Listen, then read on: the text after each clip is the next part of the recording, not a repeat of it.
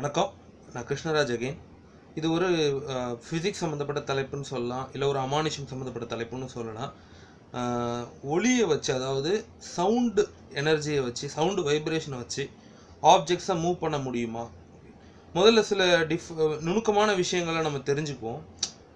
தொடாமலே நம்ம ஒரு ஆப்ஜெக்டை தொடாமலே அந்த பொருளை மூவ் பண்ண வைக்கிறது அப்படிங்கிற இந்த கான்செப்டுக்கு வந்து டெலிகைனசிஸ் அப்படின்னு சொல்கிறாங்க இந்த டெலிகைனசிஸில் பல ஃபேக்ட்ஸ் இருந்தாலும் இதில் வந்து ப்ரூவ் பண்ணப்பட்ட சில ஃபினாமினன் இருந்தாலும் ரொம்ப காமனாக உலகம் ஃபுல்லாக இருக்கக்கூடிய விஞ்ஞானிகளால் ஏற்றுக்கொள்ளப்பட்ட ஒரு விஷயமா இருக்கிறது சவுண்ட் லிவி லிவிட்டேஷன் அப்படின்னு சொல்கிறாங்க லிவிட்டேஷன்னா மூவ் பண்ணுறது இல்லை லிஃப்ட் பண்ணுறது மேலே தூக்குறது அப்படின்னு சொல்லணும் ஸோ ஒரு சில பர்டிகுலர் சவுண்ட் வைப்ரேஷன்ஸை ஏற்படுத்தும் போது சில கற்களையே கூட மிதக்க வைக்க முடியும் அப்படிங்கிறது தான் இந்த கோட்பாடினுடைய ஒரு அடிப்படை விஷயம். ஸோ இதை ஏன் நம்ம இங்கே பேசுகிறோம் நம்ம தலைப்பு பார்த்தாலே தெரிஞ்சிருக்கும். நம்ம ஊரில் தஞ்சை பெரிய கோவில் அப்படின்னாலே பக்திக்கு மட்டும் இல்லை வரலாற்றுக்கு மட்டும் இல்லை இதை தாண்டி ஒரு தமிழ் உணர்ச்சியை நமக்கு கொடுக்கக்கூடிய ஒரு ஏரியா ஒரு விஷயந்தான் ஒரு இடம் தான் வந்து தஞ்சை பெரிய கோவில். இதை வந்து சுமார் ஒரு ஆயிரத்தி எட்டு வருஷத்துக்கு முன்னாடி ரெண்டாயிரத்தி பத்தில் வந்து ஆயிரம் வருஷத்தை கொண்டாடி இருக்காங்க ஸோ ஆயிரத்தி எட்டு வருஷத்துக்கு முன்னாடி ராஜராஜ சோழனால் கட்டப்பட்டது. ஸோ இதில் வந்து அறநூறு ஊழியர்கள் இதில் வேலை செஞ்சாங்க. இதெல்லாமே நம்ம கல்வெட்டுகளில் பார்க்க முடியுது. தஞ்சாவூர் பெரிய கோயிலில் இருக்கக்கூடிய கல்வெட்டில் பார்க்க முடியுது. ஸோ இப்போ நம்ம பார்க்குற இந்த பார்வை வந்து வெறும் வரலாற்று பார்வையே இல்லாமல் ஸோ அந்த அப்பேற்பட்ட பெரிய விஷயங்களை கொண்ட பக்தி மதம் இதெல்லாம் விட்டுட்டு அம்- பல அதிசயங்களையும் மர்மங்களையும் உள்ளடக்கிய அந்த தஞ்சை பெரிய கோயிலுக்கு மேலே இருக்கக்கூடிய அந்த பெரிய எண்பது டன் கல் எடைக்கல். அது வந்து எப்படி வந்து அவ்வளோ உயரத்தை கொண்டு போனாங்க? அப்படிங்கிறத அப்படிங்கிறத இந்த ஃபிசிக்ஸ் பிரின்சிபலை பட் வச்சு என்ன ஒரு ப்ரப்போஸ்டு தியரி அப்படிங்கிறத இங்கே நம்ம பேச போகிறோம் ஸோ முதல்ல ஒரு விஷயம் கிளியராக சொல்லிடுறேன். ஸோ வரலாற்று சான்றுகளை வச்சு தான் நாம் வந்து இங்கே எல்லாமே பேச வேண்டியதாக இருக்குது அதுக்கு வேற வேறு பர்ஸ்பெக்டிவ்ஸ் கொடுக்குறாங்க. இப்போ வந்து இத்தனை வருஷத்தில் இத்தனாவது வருஷத்தில் ஒரு ஒரு இடைக்கல்ல கொண்டு போய் இங்கே வச்சு இந்த கோயிலை கட்டியிருக்காங்க அப்படிங்கிறது நமக்கு கிடைக்கிற சான்று. அதை எப்படி செய்தாங்க அப்படிங்கிறதுக்கு வாய் வழி செவி வழி செய்திகள் தான் நிறைய இருக்குது ஸோ அப்படி பார்க்கும்போது தஞ்சாவூர்லேருந்து ஒரு பன்னெண்டு கிலோமீட்டருக்கு வெளியே சாரப்பள்ளம் அப்படின்னு ஒரு ஊர் இருக்குது சாரப்பள்ளம் அப்படிங்கிறது இன்றைக்கும் ஒரு கிராமமாக இருந்துகிட்டு இருக்கு அது என்னென்னா அந்த கோபுரத்துக்கு சாரம் அமைக்கிறதுக்காக பள்ளம் தோண்டப்பட்டு இப்போ அந்த அந்த கோபுரம் வந்து பல அடிகள் இருக்கு இல்லைங்களா? ஸோ அந்த அடி வரைக்கும் மேட்ச் பண்ணி பள்ளம் பள்ளம் அந்த அடியை ஃபில் பண்ணுற அளவுக்கு மணலை குவிச்சு வச்சு கொஞ்சம் கொஞ்சமாக கொஞ்சம் கொஞ்சமாக அந்த இடைக்கல்ல உருட்டி ஆயிரம் யானைகள் பயன்படுத்தப்பட்டது இப்படின்லாம் நம்ம படிக்க முடியுது. பட் இது வந்து ஒரு ஒரு செவி வழி செய்தியாக தான் நமக்கு இருக்கே தவிர இதுக்கும் எந்த ப்ரூவ்டு ஃபேக்ட்ஸ் நமக்கு இல்லை.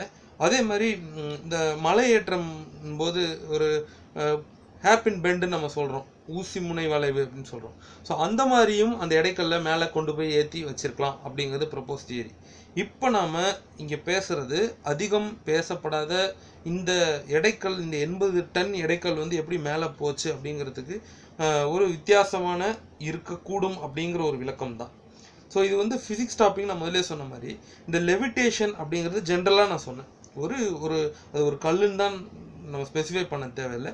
ஏதாவது ஒரு ஆப்ஜெக்டை தொடாமலே சவுண்ட் வைப்ரேஷன்ஸ் மூலமாக அதை வந்து மிதக்க வச்சு நம்ம பர்டிகுலர் டார்கெட் ரீஜனில் அதை போய் உட்கார வைக்க முடியும் அப்படிங்கிறது தான் இந்த லிமிட்டேஷனுடைய பிரின்சிபல் ஸோ இது வந்து இதுக்கு முன்னாடி வேறு எங்கெங்கெல்லாம் இதை வந்து நம்ம வரலாற்றில் இது பதியப்பட்டிருக்கு எங்கெங்கெல்லாம் இப்படி இப்படி ஒரு விஷயம் பண்ண முடியும் அப்படிங்கிறத சொல்லியிருக்காங்க அப்படின்னா nineteen thirty nine nineteen thirty நைனில் திபத்தில் இருக்கக்கூடிய ஒரு மாங்க் மாங்க்னா என்னன்னு தெரியும்னு நினைக்கிறேன். புத்த துறவிகள்.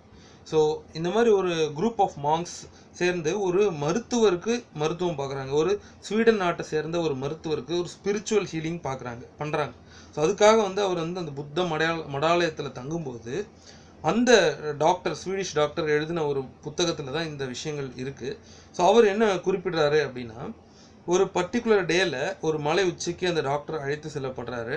அங்கே வந்து ஒரு மதில் சுவர் எழுப்பப்பட்டுக்கிட்டு இருக்கு. ஒரு அண்டர் கன்ஸ்ட்ரக்ஷனில் இருக்குது அந்த மதில் சுவர் எப்படி எழுப்பப்பட்டது அப்படிங்கிற குறிப்பை பற்றி அவர் பேசும்போது சவுண்ட் வைப்ரேஷன்ஸை வச்சு by means of thirteen different types of musical instruments பதிமூணு வித்தியாசமான இசைக்கருவிகள் இதுவரை நான் கண்டிராத இசைக்கருவிகளை பயன்படுத்தி அவங்க வந்து என் கண்ணு முன்னாடி ஒரு கல்லை அழகாக பூமியினுடைய சர்ஃபேஸ்லேருந்து மேலே எங்கே அந்த கன்ஸ்ட்ரக்ஷன் நடக்குதோ அங்கே வந்து கொண்டு போய் சேர்க்குறாங்க அப்படிங்கிறத அவர் இது வந்து ஒரு வரலாற்று வரலாறு ஹிஸ்ட்ரி பேஸ்டு ஃபேக்ட் எவிடன்ஸாக இருக்குது ஸோ இந்த கான்செப்ட் படி இங்கே தஞ்சை பெரிய கோவிலில் இந்த எண்பது டன் கோ இந்த எண்பது டன் எடையுள்ள இந்த கல்லை கோபுரத்தினுடைய உச்சியில் கொண்டு போய் வச்சிருக்கலாம் அப்படிங்கிறது வேற எங்கேயோ கண்டுபிடிச்ச சயின் வேற எங்கேயோ வேற வேற ஒரு நாட்டில் வெளிநாட்டில் கண்டுபிடிச்ச ஃபேக்ட் கிடையாது.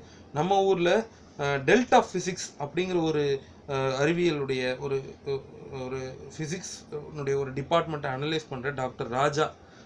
He's based in Chennai so அவர் பண்ணுற ரிசர்ச்சஸில் இதுவும் ஒன்று ஸோ அவருடைய ஃபேக்ட்ஸ் தான் இது எல்லாமே. அவருடைய ப்ரப்போஸ்டு தியரி தான் இது எல்லாமே. அவருடைய இன்சைட்ஸ் இன்னும் எப்படி இருக்குன்னா தஞ்சை பெரிய கோவிலை கட்டினதே வந்து ஏலியன்ஸ் தான் அப்படிங்கிறது. ஏலியன்ஸ் ஒன்று இப்போ நம்ம படங்களில் பார்க்குற மாதிரி இல்லை சயின்ஸ் ஃபிக்ஷன் மூவிஸில் கதைகளில் கேட்குற மாதிரி ரொம்ப அப்படியே சூப்பர் பவர்ஃபுல் ஏலியன்ஸை பற்றி அவர் பேசலை.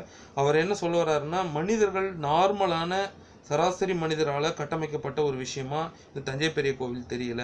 ஒரு முப்பது அடி உயரமுள்ள மனிதர்கள் தான் இதை கட்டியிருக்கணும் அப்படிங்கிறது ஏன்ஷியன்ட் ஆஸ்ட்ரோநாட்ஸ் அதாவது பழங்காலத்து வேற்றுலக வாசிகளினுடைய ஆராய்ச்சியில் இருக்கிறவங்க சொல்கிற விஷயம் அப்படிங்கிறத அவர் முன்னெடுத்து வைக்கிறார். ஸோ இதுக்கு எந்த ப்ரூஃபும் இல்லை அப்படிங்கிறதால இன்னி வரைக்கும் இது ஒரு டிபேட்டபிள் டாப்பிக்காக இருக்குது ஸோ எப்பவுமே நம்ம தஞ்சை பெரிய கோயில்னு யோசிக்கும் போது பக்தியும் வரலாற்று பெருமையும் தான் நமக்கு தோணும். இதை தாண்டியும் அங்கே பல மர்மங்கள் இருக்கிறதா அந்த doctor Raja.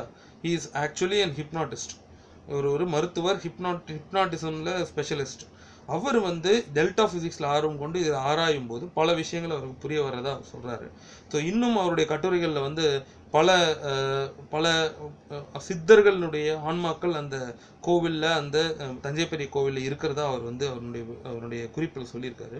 ஸோ இது எனக்கு ஒரு கொஞ்சம் ரொம்பவே நம்மளை மர்மம்னாலே நம்மளை ரொம்ப ஈர்த்துருங்கிறதால நான் இங்கே ஷேர் பண்ணிக்கிறேன்.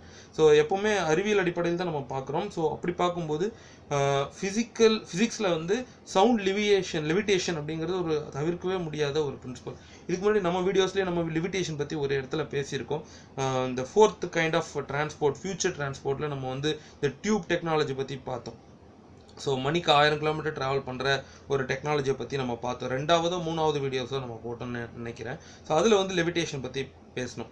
உள்ளே இருக்கக்கூடிய ஜீரோ ஜீரோ ப்ரெஷரில் வந்து நமக்கு வந்து ஒரு எக்ஸ்ட்ரீம் வெலாசிட்டி கிடைக்கும் அப்படிங்கிறத நம்ம பார்த்தோம். அந்த levitation principle by means of sound இப்போ இங்கே நம்ம இவர் டாக்டர் ராஜா என்ன சொல்ல வர்றாரு அப்படின்னா நம்மளுடைய அர்ச்சனை இல்லைன்னா நம்மளுடைய இந்த மந்திரங்கள் இந்த வேதத்தில் இருக்கக்கூடிய அந்த உச்சரிப்பு ஒளிகள் வந்து இந்த மாதிரி ஒரு தனித்தன்மை பெற்றிருக்கிறதுனால அதை வச்சு அந்த கற்களை மேலே கொண்டு போயிருப்பாங்க அப்படிங்கிறது அவருடைய ஒரு proposed idea so sound limitation technique அப்படின்னு நீங்கள் கூகுள் பண்ணிங்கனாலே எங்கெல்லாம் இதை யூஸ் பண்ணுறாங்க எங்கெல்லாம் ப்ரூவ் பண்ணியிருக்காங்கங்களுடைய ஃபேக்ட்ஸ் வீடியோஸ் எல்லாமே நம்ம கண் முன்னாடி வருது.